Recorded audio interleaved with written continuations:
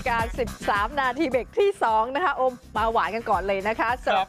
follow social นี้นะคะ เราไปส่อง IG ของยาย่านะคะ ซึ่งตอนนี้ค่ะ เธอก็ไปร่วมงานแฟชั่นวีคที่ปารีสฝรั่งเศสนะคะ แล้วก็เมื่อคืนนี้อ่านี่ไม่ใช่นะคะ นี่ครับ ยาย่าของเรา เดี๋ยวก่อน อยู่กับค่ะใครครับพี่แหมม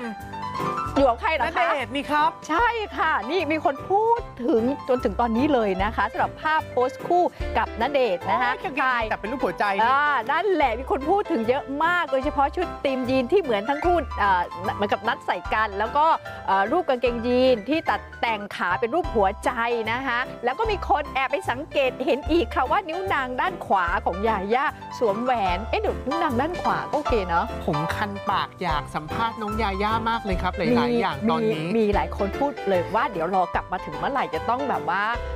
มาสัมภาษณ์กันหน่อยมาคุยกันหน่อยนี่ไงมีการวงกันด้วยเห็นไหมเพื่อนเพื่อนๆแซวอ่าอืมหวานมากหวานหวานมากโอ้นะคะอะต่อไป